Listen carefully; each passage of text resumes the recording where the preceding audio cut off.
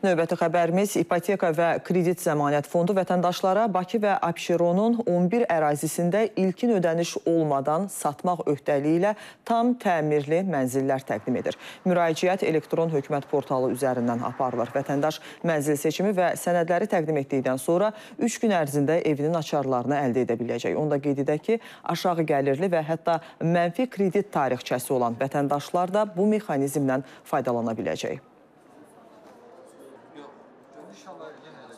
İndiyə kimi e, öz evimizdə yaşayırdıq. Sadəcə olaraq artıq e, özümün də mənzilim olsun istəyirəm. E, Şərtlər əlverişli idi mənim üçün. Çünki mənzillər təmirlidir. Həmçinin